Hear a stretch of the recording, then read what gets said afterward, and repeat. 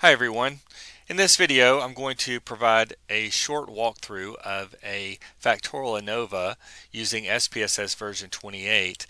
Um, in previous versions of SPSS they did not incorporate a feature for performing simple effects tests and so if you had wanted to be able to do that following a significant interaction effect then you would have had to have gone into the syntax mode and made certain adjustments to the syntax in order to uh, perform those simple effects tests. And as of SPSS version 28, it now incorporates the, um, the option under EM means to be able to generate simple effects tests. So uh, what I have on the screen right now are uh, three variables and what we're going to be doing is essentially testing a factorial model where we, we are going to be looking at the effects of instructional method on student achievement and determining whether that effect is moderated by student interest. So our two categorical variables are instructional method and student interest. And our dependent variable is this, is this achieve variable right here. The achieve variable is interval scaled. Method is a nominally scaled variable where a value of 1 indicates students receiving instructional method A, a value of 2 indicates students receiving instructional method B, and then a value of 3 indicates a student receiving instructional method C. And then for the interest variable, um, basically we have a value of 1 indicating low interest and a value of 2 indicating high interest. So to carry out our analysis, we are going to go uh, under Analyze, go to General Linear Model, and then to Univariate. When we click on that, we're going to move instructional method over to the fixed factors box as well as our interest variable right here. And we're going to move achievement over to the dependent variable box. Under options, I'll go ahead and select uh, some of the usual ones that I do, which will include descriptive statistics, effect size, uh, and power, and then homogeneity test right here. And uh, so we'll click on continue. Under plots, I'll go ahead and request a profile plot. Uh, there are actually a couple of options that are available. You have a line chart and a bar chart. Uh, for this one, I'm just going to go with a bar chart, although the line chart would suffice as well. But I'm going to move instructional method over to the horizontal axis, and then our moderating variable, or proposed moderator, interest, over to the separate lines, and click Add. And so this is going to get me then a plot with instructional method uh, represented along the x-axis and achievement along the y-axis and then interest is going to represent the moderating variable. So we'll have separate lines for the interest variable under chart type as I said we have two options that are available. I'm going to select bar chart for this and then if I want error bars I can certainly request that as well. Uh, you can see that I've gone ahead and just uh, requested error bars with a confidence interval at the 95% so we'll click on continue here. If I wanted to generate post hoc tests like Tukey's, uh, I could certainly do that. Uh, all I would need to do is to click under post hoc and then I could move instructional method over here and then click on Tukey. Uh, for this demonstration, I'm not really going to be interested in that, so I'm going to leave that alone, but that's just showing you that you can indeed uh, request post hoc tests. I am going to go under EM means or estimated marginal means right here. And under here, you'll see on the left side, we've got overall uh, method interest and then method by interest down here. So these are all the different uh, means that can be generated and these will be presented in the output following the test of between subjects effects. So I'm going to select all of these and move them over to the display means box. So when I click on that, you'll see that I have a box that says compare main effects right here and then another box that says compare simple main effects. So in previous versions of SPSS this was not an option right here. You only had the compare main effects so you could do essentially um, kind of a contrast uh, involving your, you know, one of your factor, one or both of your factor variables, but you couldn't do the simple effects analysis. So for this one, I'm going to go ahead and select compare simple main effects. And you've got under confidence interval adjustment, you've got uh, the uh, least significant difference option right there. Uh, then you've got Bonferroni and Sidak procedure. Uh, I'm going to go ahead and select Bonferroni because there's going to be uh, you know a fair number of tests that will be carried out and I want to control for type 1 error uh, across those. So I'm going to stick with Bonferroni right here. And then I'll click on continue and then we'll go ahead and click on OK. So in terms of the output, as we're looking at it, you'll see that we've got a table that contains descriptive statistics right here. We have the means and standard deviations for each cell. So keep in mind that we have uh, one independent variable with three levels. We have instructional method, there's A, B, and C right here. And then we have the second independent variable with two levels. We have interest with low and high, and you'll notice that both, you know, those two levels are found within, you know, kind of each level associated with method A, B, and C right there. So this ANOVA is basically a 3 by 2 factorial ANOVA, the 3 representing the number of levels for the method A variable and the 2 representing the number of levels for the interest variable. When you multiply those you get 6 uh, and those 6 and the 6 actually is representing the number of cells in our analysis. So you'll see that uh, for each combination you'll have a mean. So you can see method A low interest there's a mean right there, method A high uh, interest. There's the mean right there. Method B low, method B high, and so forth. And you'll see that each of those cells has a standard deviation and a sample size.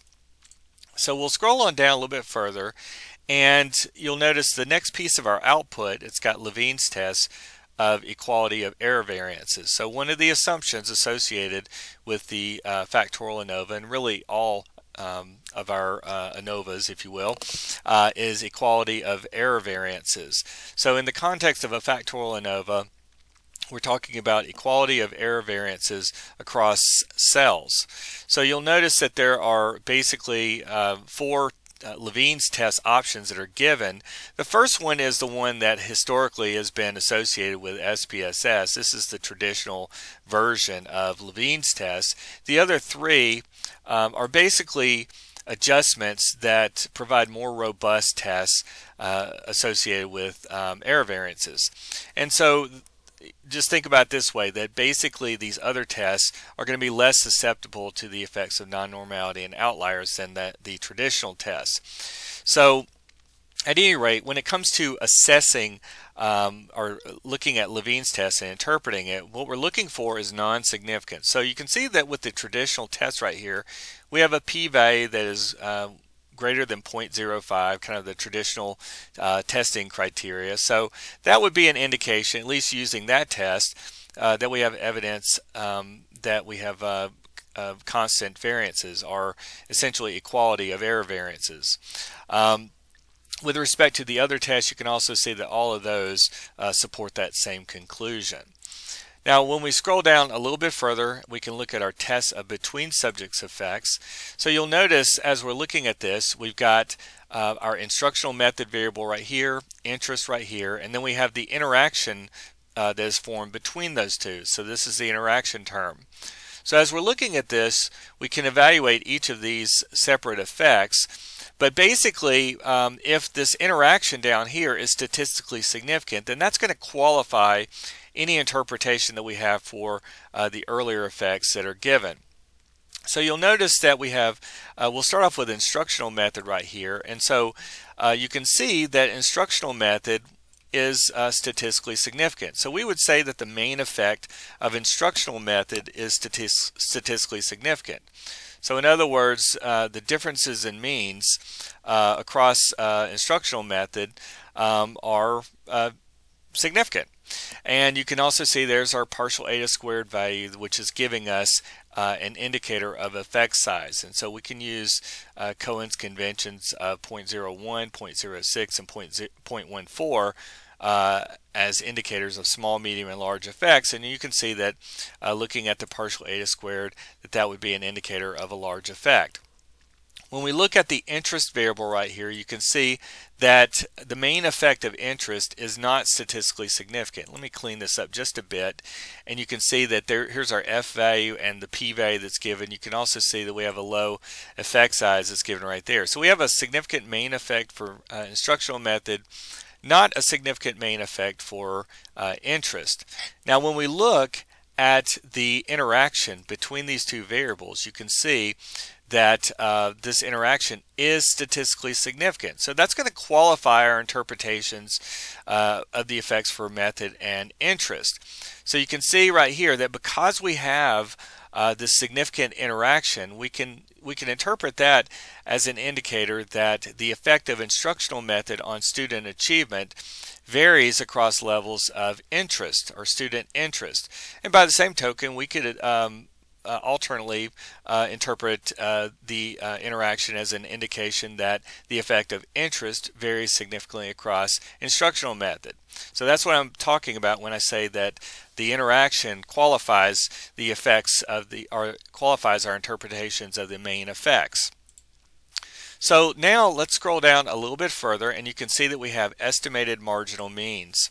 And so we have right here the grand mean uh, that's given uh, in this table right here. And, you know, the grand mean that's shown right here, the 5.614, uh, that's not necessarily going to be equal to the grand mean that you might see kind of up here in this table uh, right here, kind of in this total um, column right here. And the reason why uh, basically is because in this case our cell sizes are un unequal. So you can see that we do have equal cell sizes right here uh, and uh, but you know as you see right here within method B we have unequal cell sizes uh, that are given uh, and we have equal cell sizes right here but overall we do not have equal cell sizes so the grand mean uh, that we would see within the this table right here, and also the means that we're going to be referring to shortly um, are not necessarily going to be the same as those that are given down here. And when it comes to our actual tests, of, you know, concerning main effects and interactions, uh, what we're using are these means uh, in this table down here, or in these tables down here. So you can see, again, we have a, the grand mean uh, that's given right here. We have the means, uh, or the marginal means for instructional methods. So you can see there's method A, method B, uh, and method C right there. And so with this, you can see that we have some differences uh, in the means that are evident. And uh, so you can see that students in method A had the lowest achievement, followed by those in method C, followed by those in method B. And then we have the marginal means for student interest right here. And so those in the low interest um, group um, had um, essentially a higher mean than those in the high interest group. Uh, but nevertheless, you know, as we saw before in our test of main effects, it was no difference. But then again, when it came to testing that interaction, we, we do have evidence of moderation going on. So when we scroll down, the next table contains the cell means. And so you can see right here that um, that for students um, who are receiving method A, who are low in interest, the mean is 2.6. For those high in interest, it's 5. For students uh, in method B who are low in interest, the mean is 7.33. For those who are high, it's 6.7 right there. So you can see uh, as you're looking at this that there's a bigger difference in the means between the low and high interest students between these two within A uh, than you see right here between uh, the low and high uh, groups among those receiving method B. Uh, you can also see with method C, uh, the low group, uh, the mean is 7.6, and the high group, uh, the mean is 4.4. So now, when you're looking at the output, you can see that we have uh, some additional tables, uh, which again we were not able to generate previously uh, using earlier versions of SPSS, at least not using uh, anything anything other than uh, kind of uh, the paste function and modifying some syntax. So in this case right here, you can see that we have a table of pairwise comparisons. So this table right here is allowing us to kind of look at differences in um, in means uh, for students receiving uh, the in different instructional methods for those students who are low and high in interest. So the moderator uh, in this case is being treated as low uh, the interest variable right here. So we have low and high interest. So you can see that uh, method A and method B, this first comparison right here, you can see the difference um, in terms of method A and method B for the low students is negative 4.733 and you can see that that difference is statistically significant. If we go back up to this other table uh, you can see right here there's method A there's the low group uh, right there and then method B the low group right here. So if I take the 2.6 and subtract the 7.333, that's what gets me the mean difference. And again, you can see that the difference is statistically significant. So next you can see that we have a comparison uh, among the low interest students between method A and method C. So you can see here that we have a difference of 5 and you can see that difference is statistically significant. Again if we go back up to the previous table we can see a comparison between these students uh, receiving method A and these students right here receiving method C. So if I just take uh, right here, if I take the 2.6 and subtract the 7.6, that's what gets me the negative 5 that's given right here. Then when we compare method B versus method C, that last comparison, you can see that there's no significant difference between um, uh, those students receiving those two methods, um, at least for those students who are low in interest. When we look at the high interest students, the differences between the difference between method A and B is not significant. Between method A and C right here is not significant. And the difference between method B and method C, there's no difference right there. So you can see kind of generally that the differences that we're observing in instructional method do appear to vary uh, depending on whether the student is low versus high in interest and you can see more significance kind of occurring for those student for those comparisons involving the low interest students uh, as as opposed to those who are high in interest. The univariate test that's given down here is kind of an omnibus test, if you will, of all of the differences. And so you can see that we have a test uh, for students who are low in interest. This right here would be a test of differences among the instructional methods for those students who are low in interest. And you can see we have statistically significant differences overall. And then for those students who are high in interest right here, uh, we see no differences emerging um, by instructional method. When we scroll down a little bit further, you can see that we have basically our same estimates uh, that are given, and we also have more pairwise comparisons in those univariate tests right here. This might be useful if your focus was not so much on instructional method as the focal independent variable and interest as the uh, moderator. In this case, maybe you know we might be interested in uh, focusing in on uh, the effect of interest at different levels of uh, instructional method. So if that was our focus, we might uh, want to have that information. So I'll just kind of briefly go through this. You can see that we have our estimates that are given uh, as we had had basically, you know, kind of before, only kind of reversed here with, uh, you know, interest over here and method over here. But basically, as you're looking at this, you can see with the pairwise comparisons, uh, there's uh, by instructional method now, we have method A, method B, method C, and comparisons involving low versus high interest students. So you can see, uh, first off, we have for method A, the, the uh, low uh, interest mean minus the high interest mean, that difference is negative 2.4. So, you know, basically what we have right here is this 2.6 uh, minus this 5 right here, and that's what got, got us our negative 2.4. You can see that there's a significant difference right here between um, the low and high uh, students in uh, method B. You can see there's no difference but we do see a difference in method C between the low and high uh, students right here. There's the mean difference and significance level. Uh, if we scroll down a little bit further, you can see our univariate tests. And uh, so again, you could look at these as kind of omnibus tests of differences uh, uh, involving, in this case, the interest variable at different levels of instructional methods. So students receiving instructional method 1, you can see that there's overall difference um, in means between the low and uh, high interest students. Uh, for instructional method B, no difference, and then with instructional uh, method C, uh, that there being a difference in between the students who are high versus low in interest. And finally you can see that we have our uh, profile plot of, of our marginal means and we also have our confidence intervals that were generated as well. And so as you're looking at this right here you can see that uh, really between you can see over here we've got the color coded uh, the lows are light blue and the highs in terms of interest are greens. And so you can see you know, bigger differences uh, between uh, students who are low versus high in interest uh, among those who are in method A and method C and less difference for those who are in method B right there. And just to show you what it would look like if we were to generate the same results using the uh, the uh, profile plot, uh, basically where we have um, a line chart. I'll go back here to line chart right here and click on continue and then on OK and scroll down and this is what it looks like right here. So uh, basically it's the same information just repackaged a bit. Uh, obviously this is a little bit more colorful and looks nicer but um, if you want a line chart you can certainly uh, generate that as you uh, run your analysis. Okay, so that uh, pretty well concludes this video demonstration, and I appreciate you watching.